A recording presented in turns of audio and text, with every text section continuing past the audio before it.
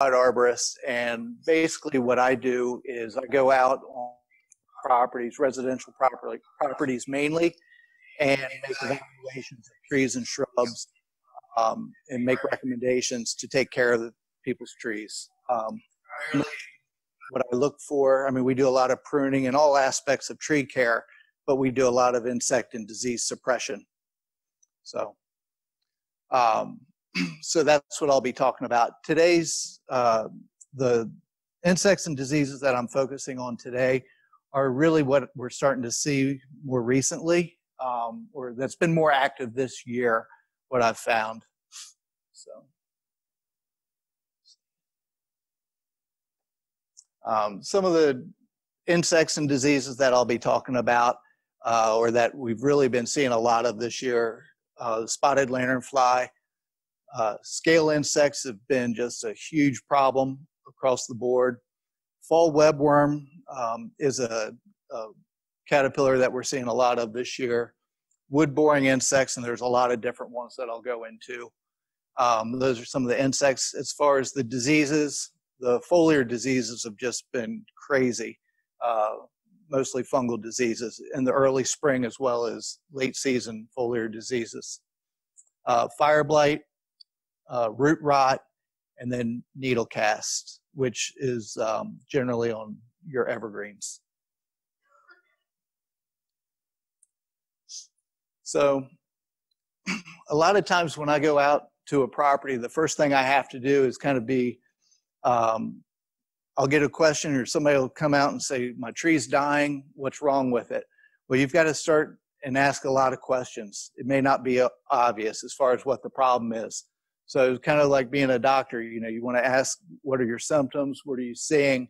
So it's a little bit of, you know, I said being a detective, ask a lot of questions if you have the client there or the homeowner there uh, to be able to answer them they may or may not know or may be able to help you out but it may not always be obvious as far as just a, a one problem so the main thing though when you're out there looking at a problem you got to be able to identify the plant so just making sure you have the right plant um, that you that you know what the plant is that'll eliminate or you'll be able to narrow down your focus on a lot of insects and diseases, whichever way it goes.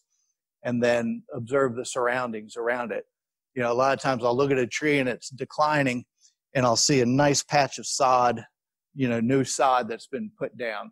So what that indicates, or the first question I'll ask is, why is this new sod here and what happened for you all to put all this sod? and a lot of times it'll be a trench, and they've trenched right next to the tree, which would uh, cause root damage and cause the tree to decline.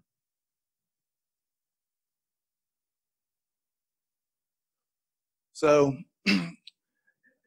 wanted to talk about a little bit of the difference between signs and symptoms. Here you've got a red maple um, in a parking lot. Very common scenario. You see where the top is starting to die back. Um, so some of the signs or the symptoms are the tip dieback.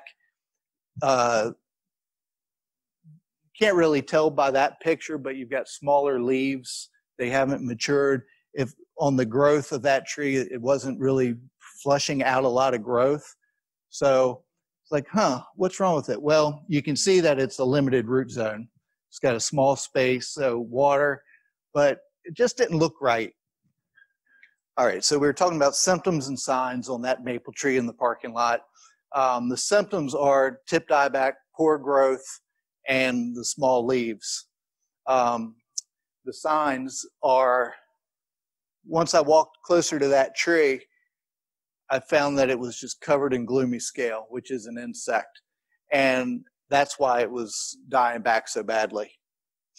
So all of those little dots on the tree on the it's not the bark this is a red maple and other than it's starting to get a coarser bark but that bark is very smooth so all that texture that you see are thousands of scale insects and this particular type of scale is called gloomy scale and it's pretty prevalent in urban areas and um, we're seeing just a tremendous amount of it it's always on stress trees uh, in parking lots like this but i'm seeing it much more so in the landscape or around, even on you know nicer properties or not nicer properties, bigger properties where they have plenty of space.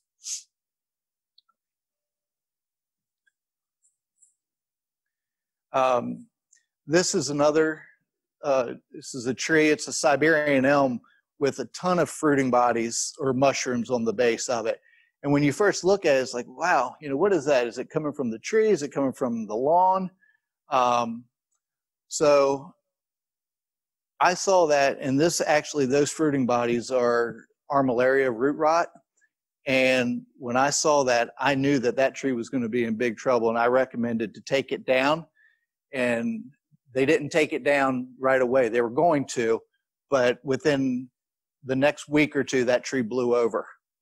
Um, it affects the, the roots that quickly. It's called shoestring root rot.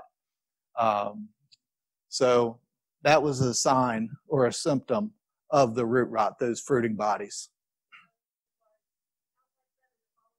It was following a root. Yep.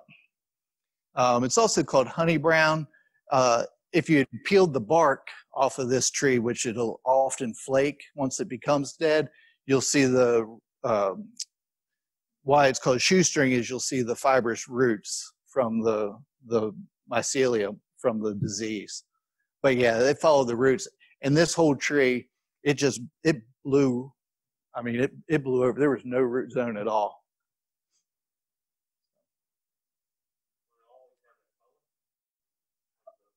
That specific. So there's you know mushrooms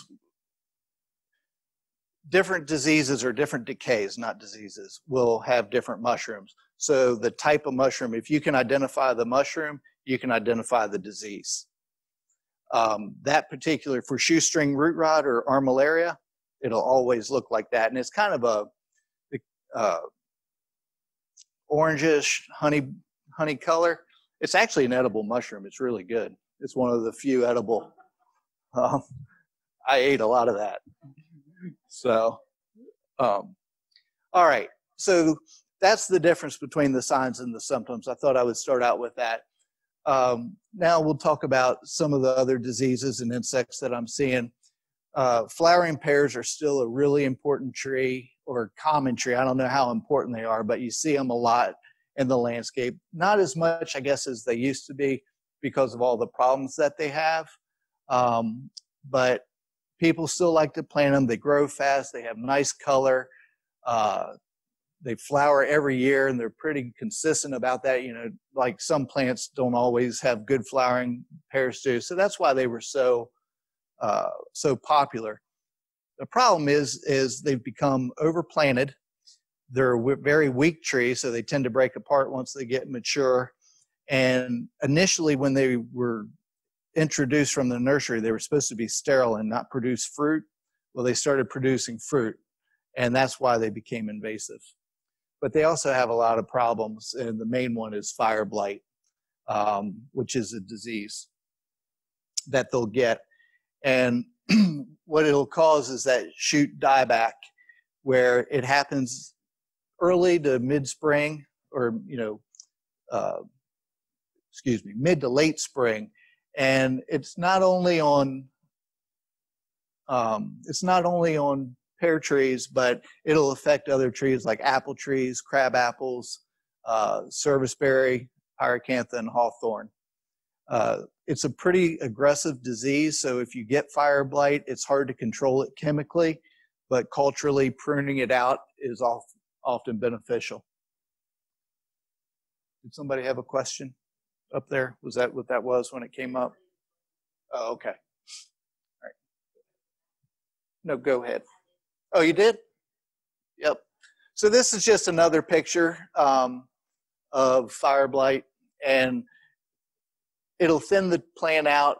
Eventually, it'll it'll kill the plant. So if you do prune it, you want to prune the infection out well below the infected area. And the way you tell the difference is the tips will turn black. It almost looks like charcoal. Um, the stems will be just jet black, but you've got to prune at least 10 to 12 inches below that infection area, or you'll just keep chasing the disease.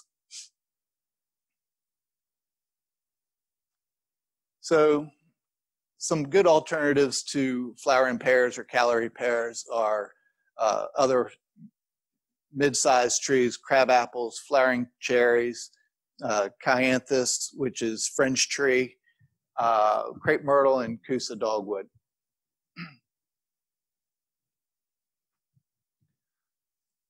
so um, Leyland cypress is another plant that we see on the landscape a lot, and they have their fair share of problems. Again, they've just become so overplanted. Uh, but the main thing that we see with those is the way that people plant them. If they don't space them properly, or if they're in an area that has poor air circulation, they'll get a disease called Seiridium canker, and it'll cause the plant to start dying out. Uh, the if you look at the main trunk, you'll see a lot of sap or oozing on the trunk, and eventually the tree will just slowly decline. Uh, unfortunately, there's not a treatment for that either. Um, most cankers, there you can't do anything about other than culturally trying to keep the plant as healthy as possible through fertilization. Uh, during a drought, don't let it dry out. That's when they'll really start showing the symptoms of you know the stress. Um, you can actually thin them uh, through pruning, and that'll increase the air circulation. So this is these are Leylands again, and you can see the fruiting bodies here on the stem, and then the canker itself where the bark starts to peel. Uh, when you see that, that's typically a canker or the Seiridium canker.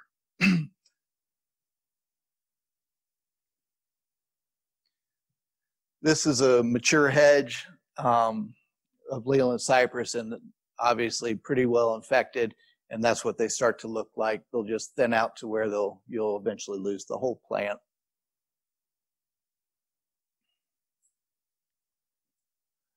So some of this actually might have been winter damage. I took that picture after we had a really cold winter, but they did have seiridium and that's another problem with Leyland cypress and most evergreens on a cold winter, they can turn to, they'll start turning brown because uh, they still are desiccating and transpiring through the winter.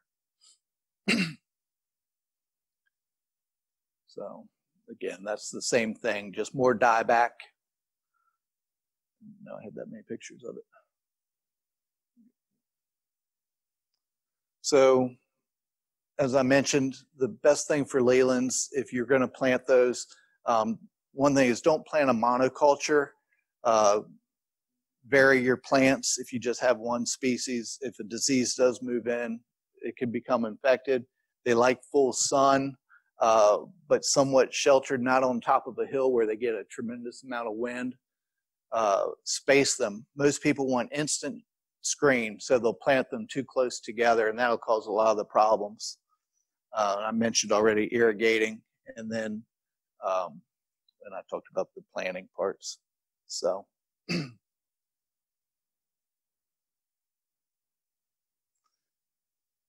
a lot of people don't think that they can prune the Leylands, uh, but this is a before and after picture of the Leylands once they're thinned. And some of it was to cut out disease, but mostly just to space it. And culturally, that's something that you can do to help the plant just get better air circulation to reduce the amount of disease in the plant.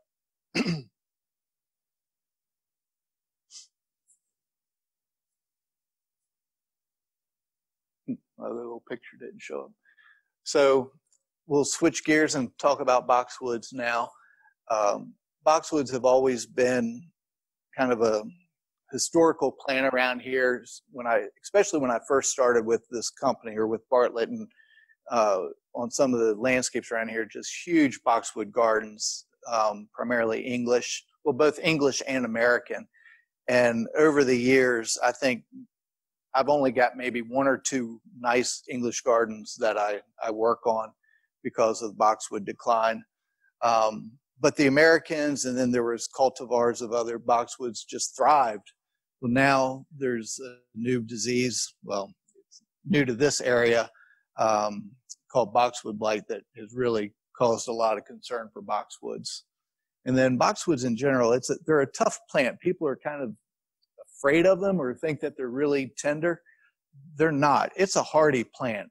but they're just they get a lot of pro or they have a lot of problems. So, oh, there it is.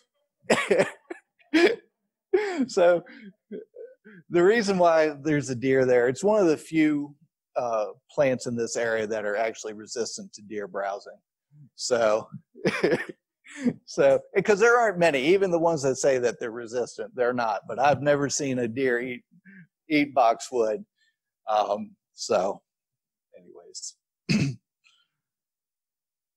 so this is a garden, um, obviously that's has a large number of boxwoods, and they're really starting to die out. Some of these are. This is probably boxwood decline, and I'll go into decline later. Um, honestly, I can't tell.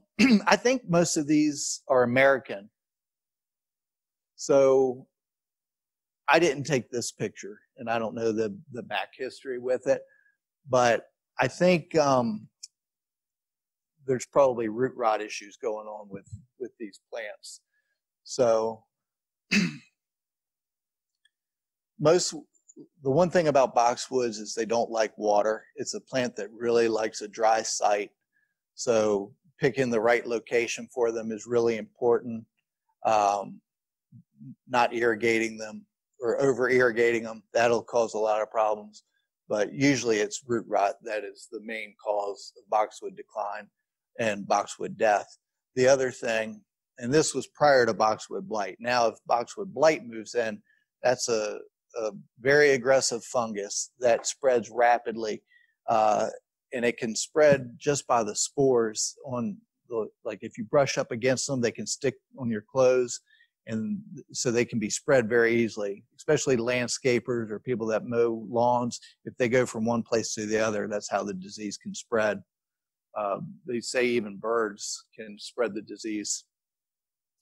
Um, this is boxwood psyllid that white um, fluffy stuff that you see that's common in the early spring right when the new growth is coming out and it's more like a little aphid but if you've ever seen on boxwoods where the leaves cup, they get in tight little circles, the leaves, that's what causes that as it as it matures. That's the reaction to the plant. Very easy to control, and it really doesn't damage. I mean, it's more aesthetic damage than actual um, really hurting the plant, but easy to control.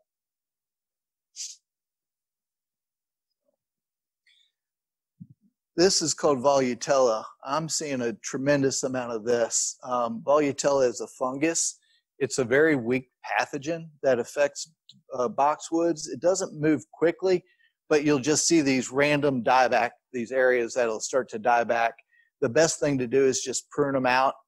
Um, I get a lot of calls, um, people thinking that they have boxwood blight when it's Volutella the best way to tell it apart from blight is on the underneath side of the leaf on that other picture you can see the black spores on the back side of the leaf. And if you see that that's volutella um, treating it with a fungicide helps but the results have been kind of sketchy with that. So really pruning it out is the best thing now this is a, a boxwood hedge that has boxwood blight and from my experience where I've seen it, once it starts, it happens. That disease spreads very quickly and will really defoliate the plants. Um, a lot of the leaves, it may be on one side of the plant. Uh, it may be on, you know, a lot of times boxwoods are along the foundation of the house. And I've seen it where it's on the back side where they're more protected, and then everything on the back side I've seen it where it's on the front side, so I'm not really sure like why it spreads or how it spreads in that fashion. Um, but once you have it, you'll know it, and it it goes quickly. There are treatments for it, and initially when boxwood blight came out, or we started seeing boxwood blight, which for us in this area was in 2018 was the first year when we had all that excessive rain uh, that was the first year I'd ever seen boxwood blight, and it really exploded. I mean, I I treated boxwood blight all over the place. I've seen some new areas of infection this year, but it's been very low. So those are the symptoms of the blight. First start seeing the um, necrosis or those dark tips on, or dark round spots on the, the healthy foliage. And you'll see that first. If you start to move or look at the stem of the plant, you'll start to see black streaking on the stem. Once you see that, it's it's gotten pretty aggressive or it's gotten pretty far into the plant. And that's when it becomes a little bit harder to manage. And you may have to start pulling out some of the plants so you don't spread it.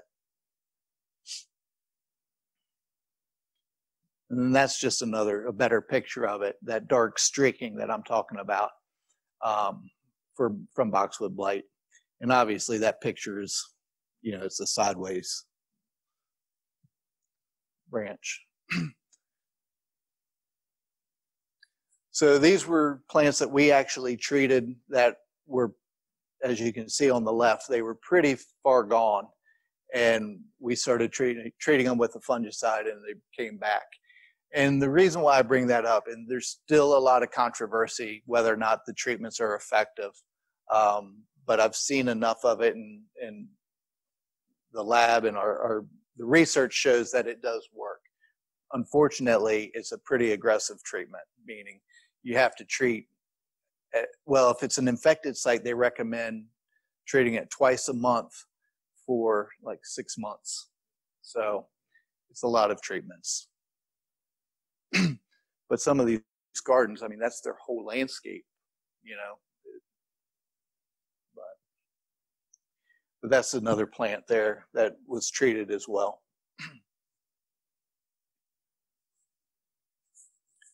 So the main thing with boxwood blight, um, trying to avoid spreading the disease and from your plants to get them in general, uh, you know, just monitor for the symptoms, look for where it starts to defoliate. If you see that, um, you know, call somebody or, or get it tested, send it to Virginia Tech. Um, you may want to, depending on how bad the infection is, pull the plant out. If it's just isolated in one area, go ahead and pull that plant out and get rid of it. You're probably better off doing that. You know, is where the whole a whole hedge is infected, where you may want to try to start treatment if you catch it early enough. It just depends on the situation. Um, but you want to avoid pruning it, shearing especially. Uh, shearing is one of the main ways that this disease is being spread. Uh, irrigation, they don't, boxwoods do not like to have water splashing on them, and then that'll spread the spores also. Uh, thinning the boxwood instead of shearing, allowing that air circulation is really key and important. Um, Saunders Brothers is a nursery down um, I always forget where it is, but uh, if you looked them up, they're doing most of the research on boxwood blight, and they've actually come out with a new plant or a new boxwood, a new variety that's completely resistant. Um, certain boxwoods now, like the English are most susceptible, American are a little bit less, and the Japanese are even, well, certain Japanese boxwoods are more susceptible. But they have one I believe it's called Generation X. that um, and I I'm pretty sure that's the name of it. But they they've got some that they claim to be completely resistant. But Saunders Brothers Nursery is doing most of the research and a really good source if you're into boxwoods.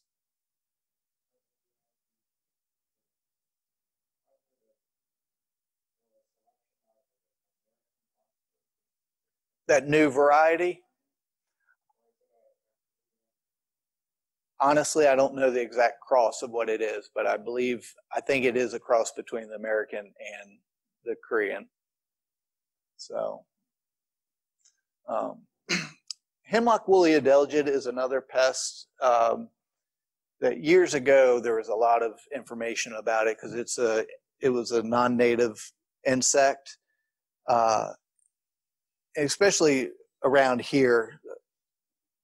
The um, the Limberlost Trail in Shenandoah National Park was just lined with with hemlock. So there's articles in the newspaper, and uh, the hemlocks were just dying from this pest. Well, some of the hemlocks survived, but here recently I'm seeing another uh, really big infestation of hemlock woolly adelgid. So all these little white um, spots along the, the base of the needle on the stem is the insect, and it almost looks like cotton. Um, but what will happen is it's it's a feeding insect and it, it sucks on the phloem of the plant and then it'll cause the needles to drop and eventually to where it'll kill the plant. So it's a shame. I i think hemlock's probably one of the prettiest evergreens we have in this area and you know if they're left untreated they they can die from it. The treatments there is a treatment. You can do a soil drench on it. It's very effective and usually one treatment will last several years without reinfestation. But I don't know why all of a sudden the um, all of a sudden I'm starting to see more of it, which most insects do. They go in cycles. You have, yeah. So that's why I brought it back up. Um, four adelgids per year per inch um, totally inhibits new growth. So a plant like this, I mean, that's covered. It won't take long at all for that tree to start to really thin out and defoliate. And if it's left alone, it, they usually die within four years.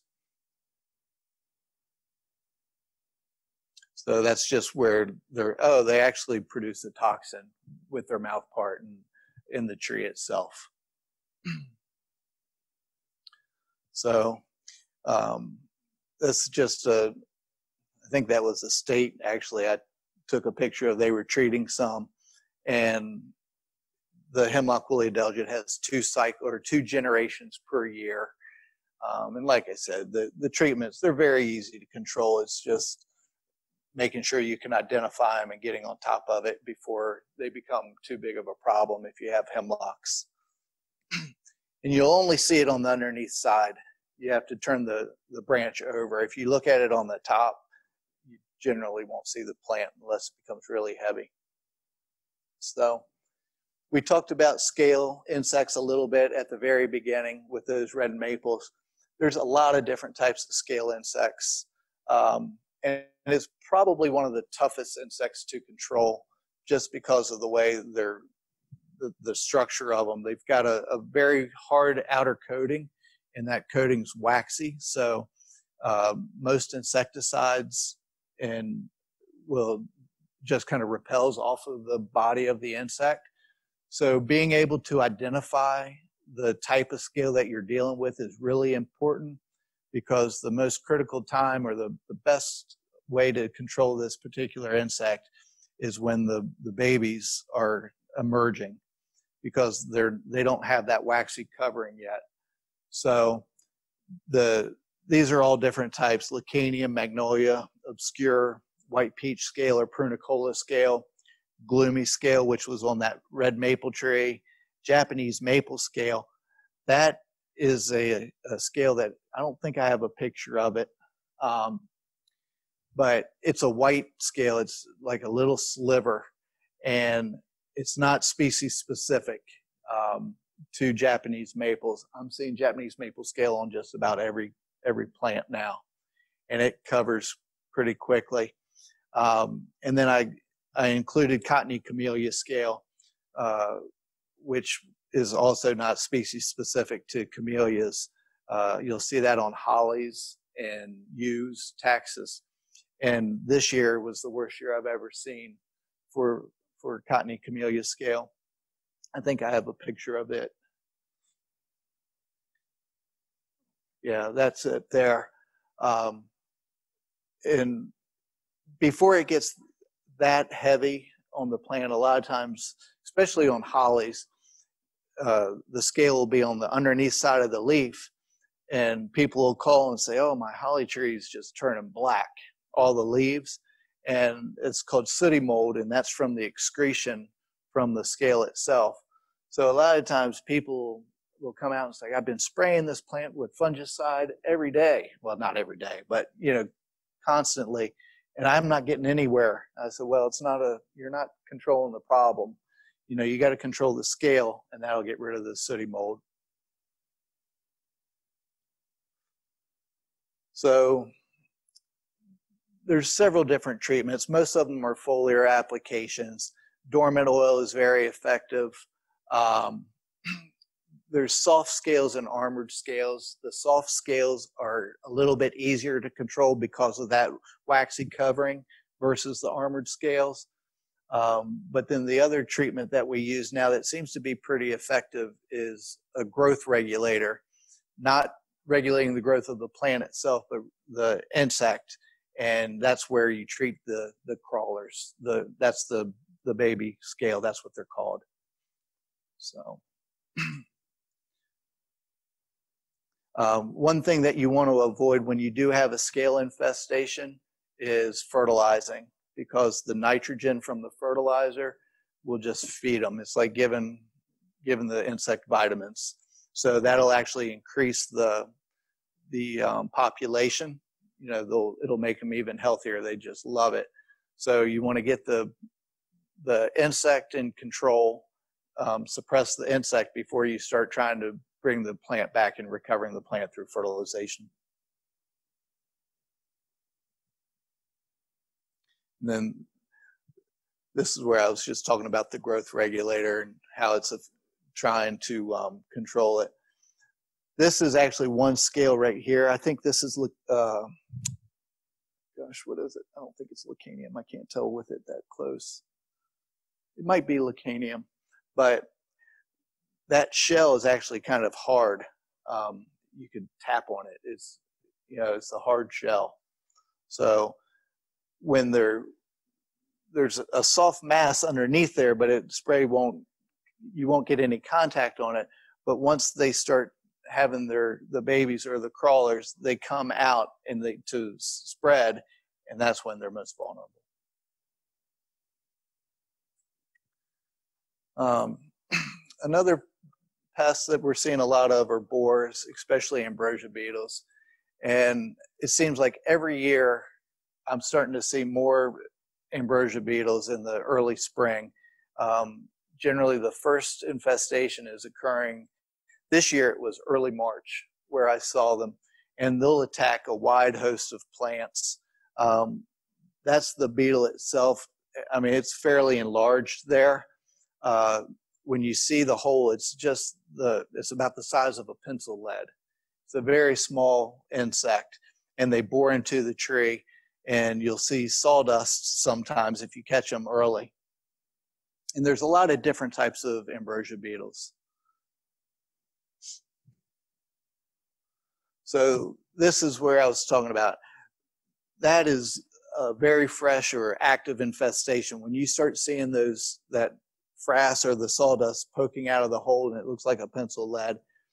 That beetle's in there pushing it out right now. They're mass attacking that tree. Um, the other picture is the same. Uh, it's a different type of ambrosia beetle, but it's causing the. It's a different reaction where it's causing the sap to run out a little bit on the plant. But this is what we see typically around here.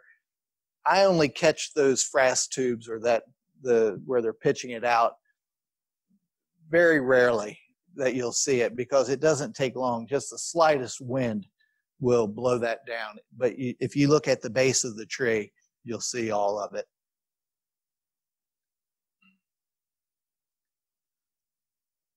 So those are some of the species that um, ambrosia beetles will attack. There's certain plants in the landscape that if I'm on their property on a regular basis. You know, we're doing preventative spray treatments. Certain plants I'll treat regardless if they, you know, before they get infested, just to prevent it. Um, beech trees, Kousa dogwoods are highly susceptible. Um, but yellowwood, I would think, or I would say, is probably the most vulnerable or susceptible um, than any of the other insects or any of the other species. I'm sorry. Um, caterpillars, um, they were another problem this year. Uh, bagworms last year and this year were heavier than I've ever seen them. Again, I'm not really sure why, just maybe the milder winters that we've been having, uh, but there's just been a tremendous amount of bagworms.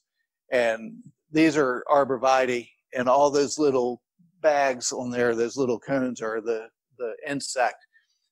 And it's a pretty nifty little caterpillar because they create their bag. They start feeding on the plant, they create a bag and just stay on the plant itself. And most people don't even realize they have them until they get fairly large late in the season. And then it's really hard. It's pretty much too late, or they, the plant's completely defoliated, but it's hard to control them. And then if they go undetected, the females actually lay their eggs right in that bag. Um, so the following year, they'll be even thicker. Uh, they'll have two to 300 eggs, I think, in each little sack. So they spread pretty quickly. then there's other um, caterpillars that we deal with. Um, that's fine. The gypsy moth, fall webworm, we haven't had i haven't seen gypsy moth infestations in quite some time. Uh, i think the last one i saw was in in delaplane actually and it was a few years ago. But what has been a, a pretty recent new pest um, or cat it's a caterpillar is called fall webworm. And this is different than the eastern tent caterpillar that you see in the early spring that's on cherries. Uh, eastern tent caterpillar is typically you'll find that in the crotches or the forks of trees, and fall webworm uh, occurs out on the tips of the branches, and it'll wrap itself. The web will uh, wrap itself around the the branch ends and the foliage. It's not as damaging to the plant because it's so it occurs so late in the season. I start seeing this generally around late July, August, September timeframe and it's more of a cosmetic problem versus a health problem, but it's become so heavy that it's really a, an eyesore. I mean, this plant on the, the side there, I mean, they just look terrible. And you talk about people crawling. So they just freak out about this insect because it's so visible. And I'll treat it sometimes, but generally it, the insect itself doesn't live that long, actually. They create that web and they're gone. So most of the time, I'm just seeing the webs and the caterpillar's not even active anymore.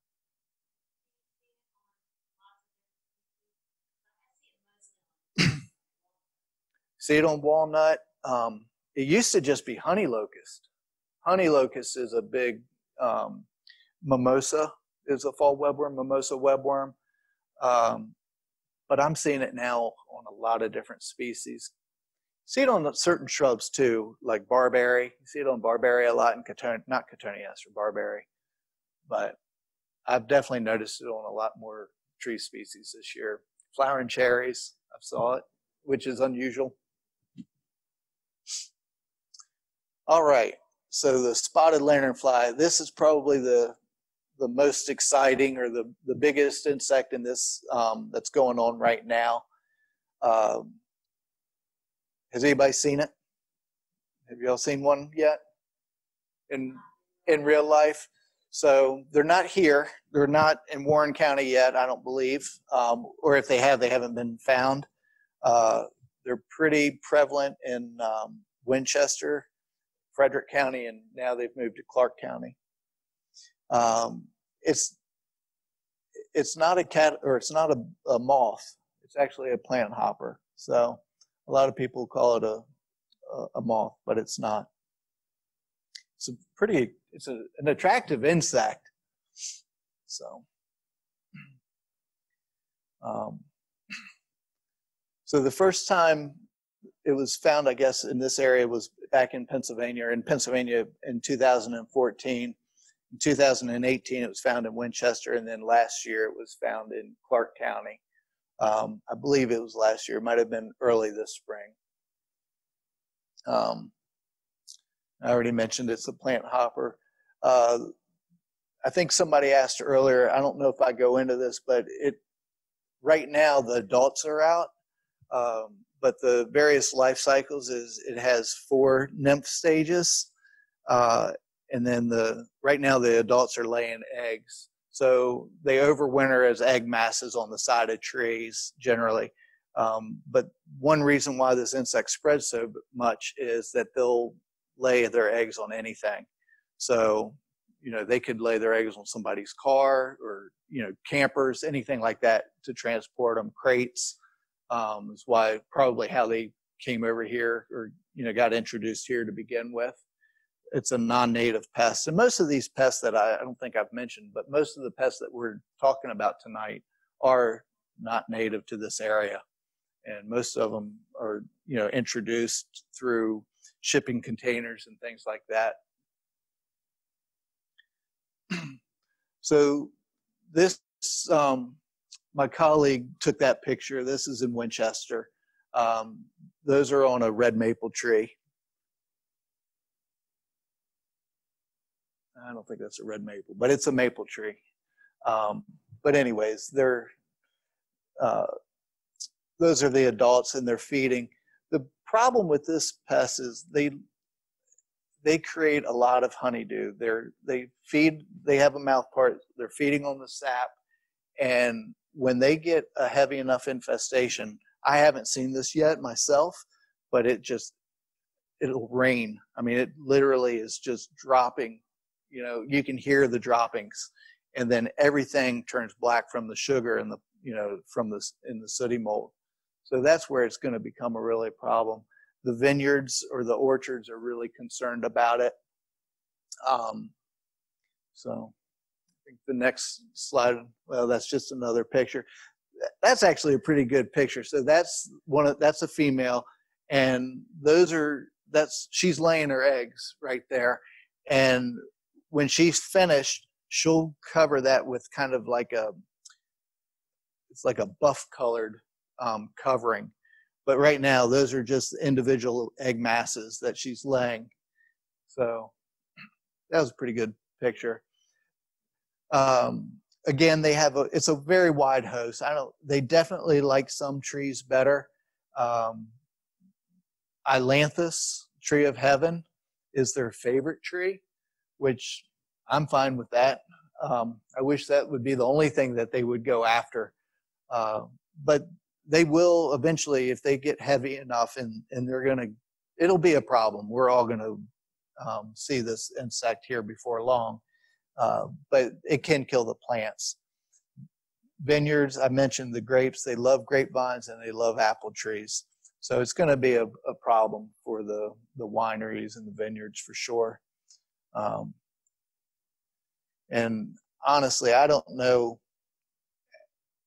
when when we're in the height of the infestation, what people are going to do. I mean, I don't think it it won't be feasible to treat them. You know, you might want to treat certain plants, but um, I guess fortunately I'm not there yet, so I'm not really sure how we're going to handle that. I know we're treating a lot of ornamental trees though right now in, in the Winchester area, specific plants for it. um, probably the most strike not striking, but the the biggest plant or the biggest problem that I've seen this year or the last two years has been oak decline. Um, just huge mature oak trees that suddenly um, just suddenly die or die very quickly. Uh, it occurs in both red oaks and white oak trees species, um, and I say that broadly. So all all the white oaks and all the red oaks. Um, but it definitely seems to be more, or it seems to be impacting the red oak family much more so than the white oaks. The white oaks aren't quite as susceptible. Um, the thing with decline is it's not one specific problem that's causing the, the death. It's usually multiple factors. So um, the definition of decline is the loss of vigor and vitality caused by the accumulation of multiple biotic and abiotic stress factors. Uh, so that covers both insects, diseases, um, rain, soil compaction, weather related uh, problems. so this is a picture of an oak that's starting well, it's it's in decline. Once they get that thin, there's that tree will be dead within a few years. Once they start flagging out like that or becoming that thin and lose that much foliage, a lot of times we'll see it in the um, more so in the top than just that overall thinning where the top will start to die back.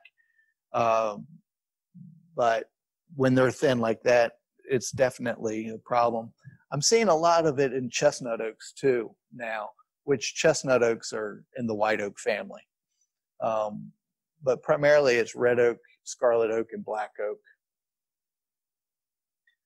So some of the decline related diseases that we see are Phytophthora root rot, uh, bleeding canker, and then armillaria root rot, which were was on that Siberian elm that I showed you um, previously. Uh, both Phytophthora root rot and bleeding canker. Bleeding canker is a form of Phytophthora. It just shows the symptoms on the trunk versus with Phytophthora root rot, it's in the root system. You can't, you don't really see anything.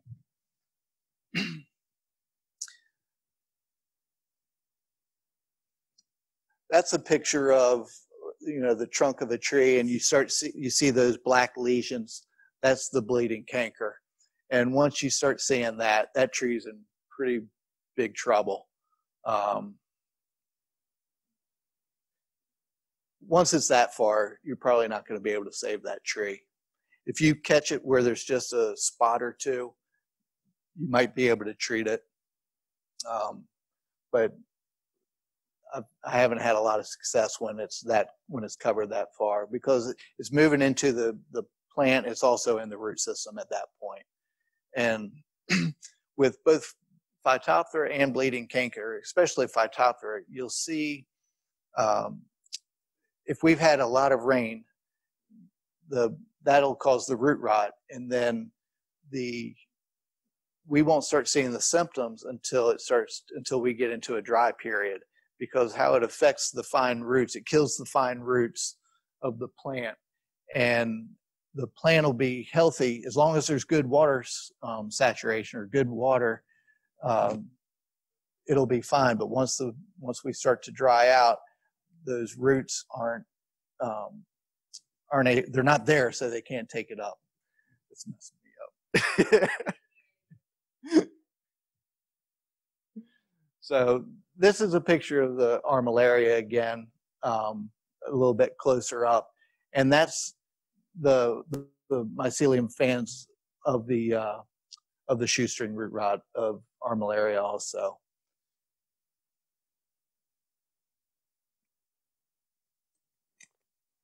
Some of the insects that are um, creating problems for the oaks.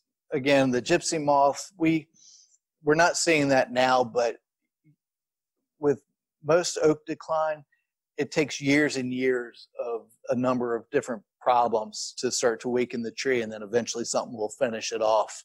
Um, most of these are secondary pests, especially the wood boring insects and the ambrosia beetles.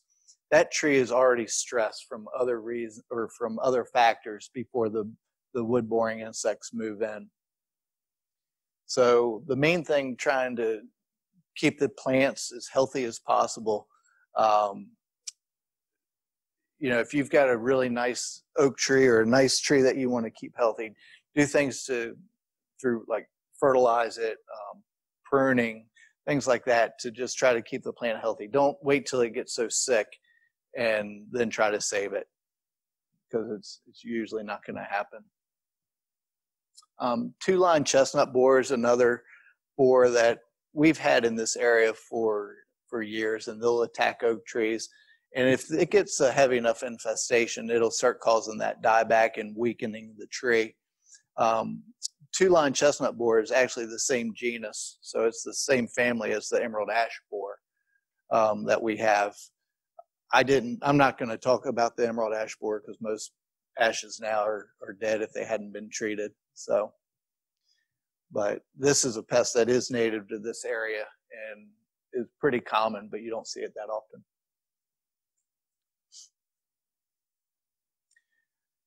This is a combination of Phytophthora, the bleeding canker, and then uh, it's getting attacked by the ambrosia beetles. A lot of times with the, the bleeding canker is it, it reduces a, or emits a pheromone that will attract the insects, the alcohol.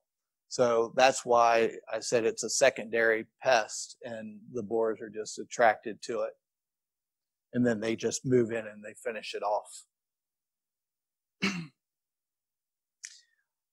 A lot of people have been calling me and asking, um, you know, see all these oak trees dying and say, we have oak wilt. Because if you look up um, oak problems on the internet, this is generally what you come up with. Um, to my knowledge, there's not any oak wilt in this area. Our office is in Pittsburgh. We deal with it a lot in, in that area north of here. Oak wilt's a big problem. Um, but I've never seen it myself here. I've never collected any samples and had uh, been able to diagnose oak wilt. So it's just not a problem in this area, but I thought I would bring it up.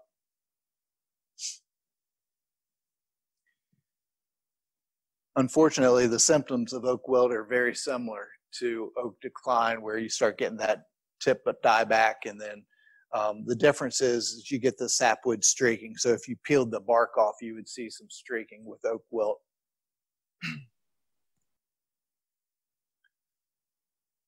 Another uh, disease that's been really prevalent this year is bacterial leaf scorch. Um, and I, I think that it's, again, mostly weather related. You know, 2018 um, and 2000, the spring of 2019, we just had a tremendous amount of rain. And I didn't mention that, but I'm sure that's why all these oaks are dying. Most of the oaks that I'm seeing, the big mature ones, are in low lying areas. And almost all of them that I've sampled did have the root rot. But I, I think they were just so saturated for so long in 2018. And now we're just starting to, it took them a couple years to finally die off.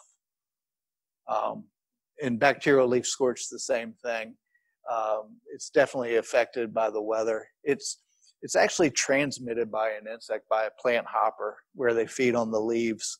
But there's a lot of different types of plants that are susceptible: oak trees, um, maples, sycamore, elms, mulberries. There's a pretty wide host.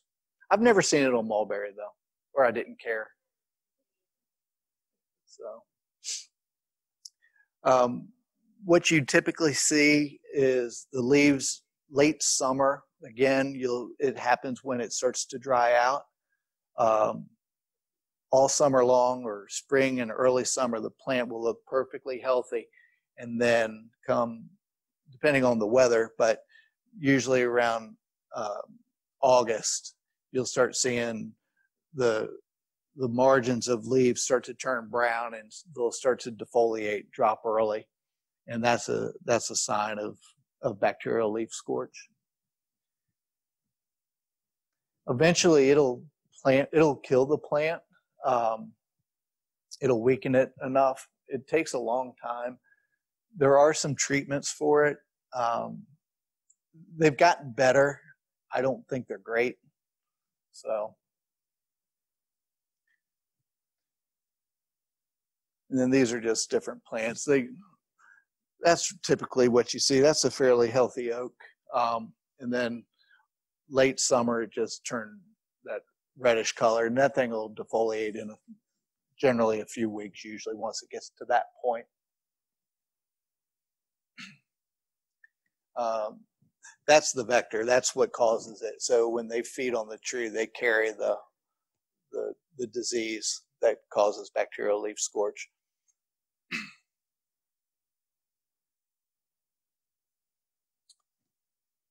And I already mentioned that you start seeing the symptoms uh, that they become more effective, or not more effective, but you start seeing the symptoms during a drought. So the main thing with bacterial leaf scorch is trying to plant trees that are, are resistant to it or not susceptible. Um, sanitation, meaning pruning out any diseased uh, branches or dying branches. Um, the vector management is that's kind of difficult, but that's where you're going after the leaf hopper um, to control it, or uh, chemotherapy or bacostat. That's actually, I should change that. That's a little bit older. We're using a different product now um, that we're injecting the trees. It's uh, it's a antibiotic or arbobiotic. So the main thing is stay away from red oaks in general. Um, red oaks, pin oaks, black oaks, scarlet oaks are all highly susceptible. Shumard oak, they're not sure about, but I have seen it on Shumard oak, um, unfortunately. Um, sawtooth, English and willow oaks are, are fine. White oaks aren't nearly as susceptible. So, and then avoid planting any platanus, which is um, sycamore.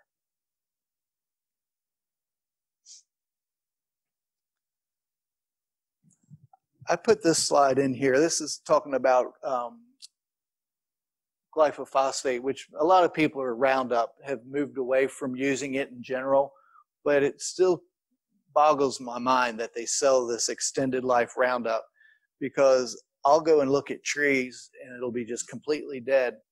And, you know, I'll look around and there aren't any weeds or anything. And I said, well, have you applied any herbicide? And they'll say, well, yeah, I just applied some the extended life Roundup to it or to kill the weeds around the plant. Well, the problem with the extended life Roundup is it goes into the soil and it kills the roots. Most Roundup or like regular Roundup doesn't. The only way that regular Roundup will kill the plants. you have to spray the foliage. But any of those extended Roundups or the ones that say that they'll last for 24 uh, months or 12 months, I guess, they have a different, uh, they have multiple herbicides in them, and they'll definitely damage plants. So we're seeing a lot of uh, a lot of plants being killed by Roundup now. That's just a picture. Um, that those two trees that was from Roundup. So just be careful as far as reading the label. Um, glyphosate glyphosate is the active ingredient in Roundup, but that imazapyr, which is the second one, is the active ingredient that's doing the damage. So just be very careful if you're going to use any of those extended control Roundups.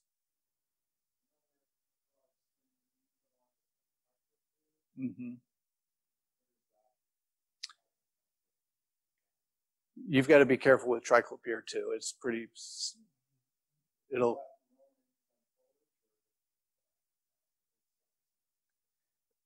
I believe it's used on tree stumps. And it'll control through both foliage and, but I know you can do stump applications with triclopyr.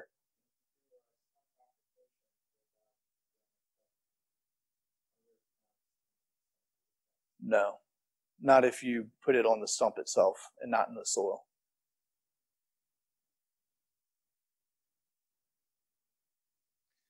All right, and I think this is the last little series of slides here, but um, root collar problems are always an issue with plants, and I see all varieties of, of mulching practices out there. Um, this one's pretty common, the where they pile the mulch all the way up on top of the tree. Uh, I call it well, call it volcano mulching but it creates a lot of problems for the plant. There's, um, it can cause, well, first it holds too much moisture right around the base of the plant itself. It can cause the roots to come to the surface and then they'll just encircle the tree and cause girdling roots where the, the tree will choke itself out or the roots will choke the tree out. Um, so you want to avoid that. The next picture there is actually a, a tree that doesn't have any mulch but it also doesn't have any kind of a root flare. If you look at it, it kind of looks like a telephone pole sticking in the ground instead of a, a normal tree that flares out at the base. So if you if you see a tree like that, over time that tree is going to start to to decline and eventually it'll die. We've seen trees that actually just fall over like that, you know.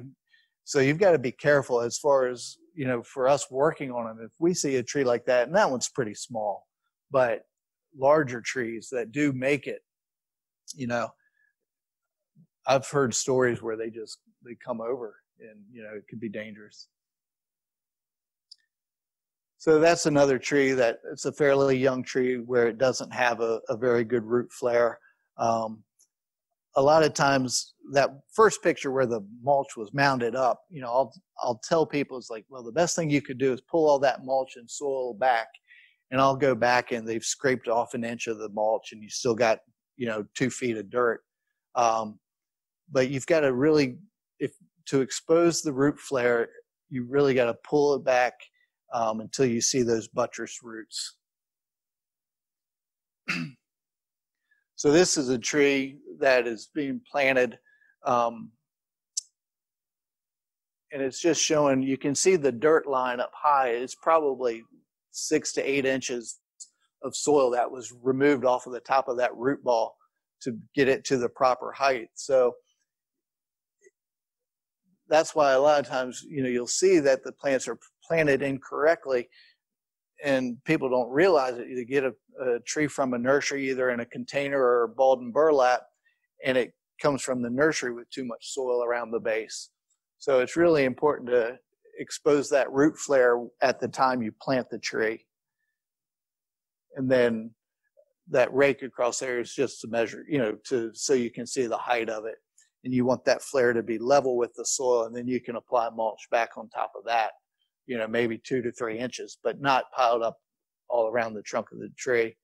And then that's a fairly large oak there but that's the root flare those those buttress roots that you want to see exposed. You know if you look at a tree in the woods they're all they're never buried you know? And then that's a, a young tree with a, a nice root flare that was pulled back. So basically you want to avoid the volcano mulching and just have the mulch spaced out. Oh. That was the last slide anyways. There was only there was only one more.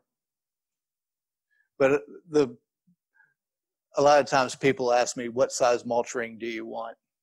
And that's um, that's a little bit excessive, but uh, that's what the tree would like.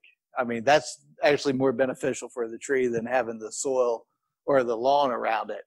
Um, but the more mulch that you can have around the tree, the better it's going to be because the lawn's just going to compete for both water and nutrients. So. No, but what does it have?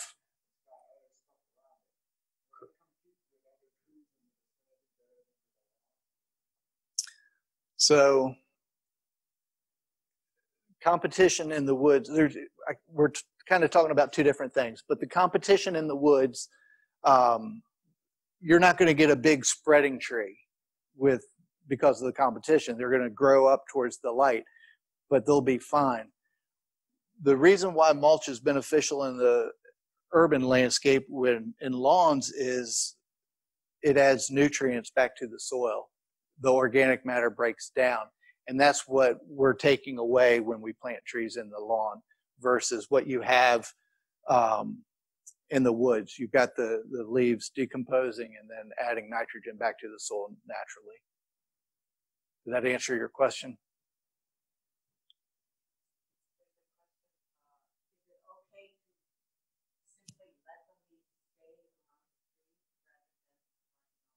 Sure. Yep, because they'll just naturally break down every year. So, I mean, it's ideal.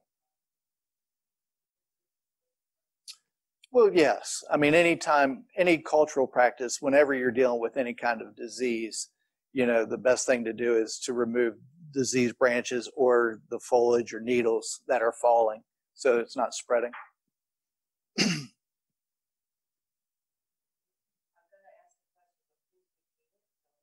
Okay.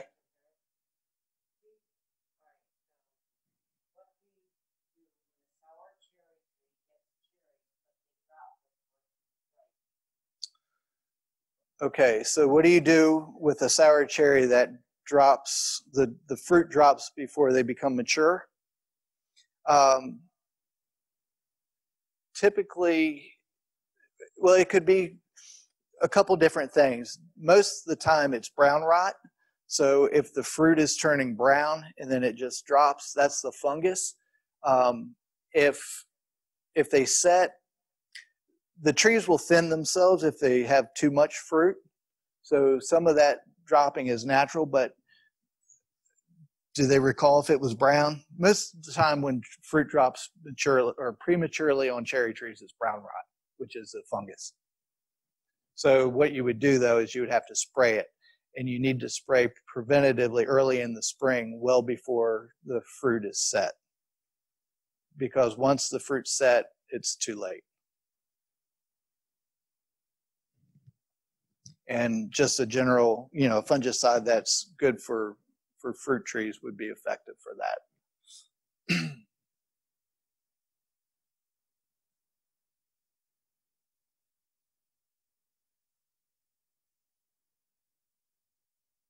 Too much rain will cause fruit to drop too sometimes. Um, with cherries also. But I bet it was brown rot, if I had to guess.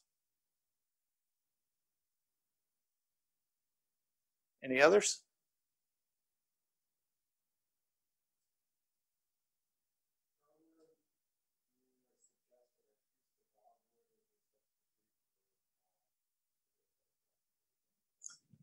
Mm-hmm.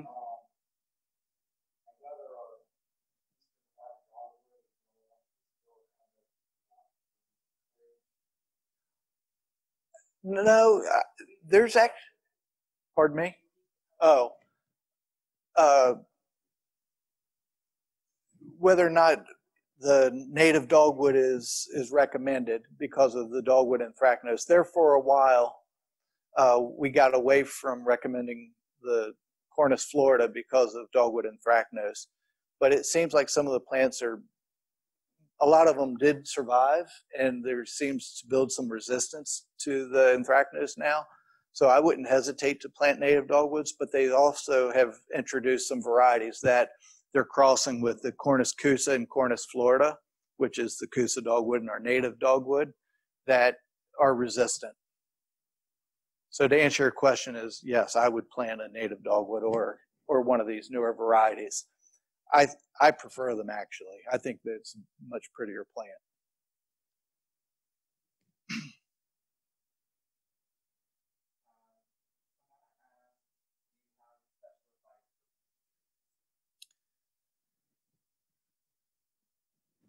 Do I have special advice for peach trees? Um, stone fruit in general, um, along with the cherry trees, are probably the toughest fruit trees to grow, especially in this area. They they they do well, but they do require uh, spraying if you want to try to get a good fruit crop.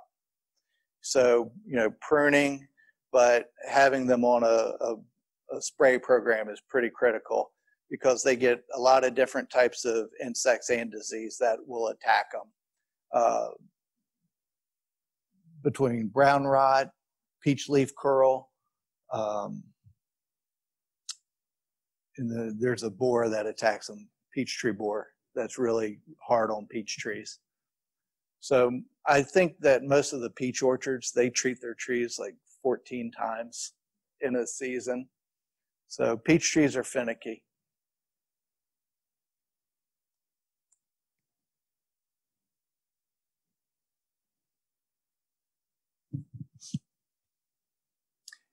You don't have to prune or you don't have to treat them that many times though to have a successful crop. But i was just that's what the commercial orchards do. They treat them that often. I have peach trees but the bears eat them every year so it doesn't matter. I t- I don't i'm not even going to spray them anymore. I don't care if they get a good peach they eat them about the size when they're barely the size of a pit. Oh, it makes me mad.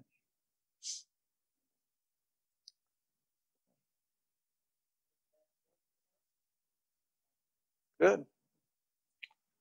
All right. Thank you.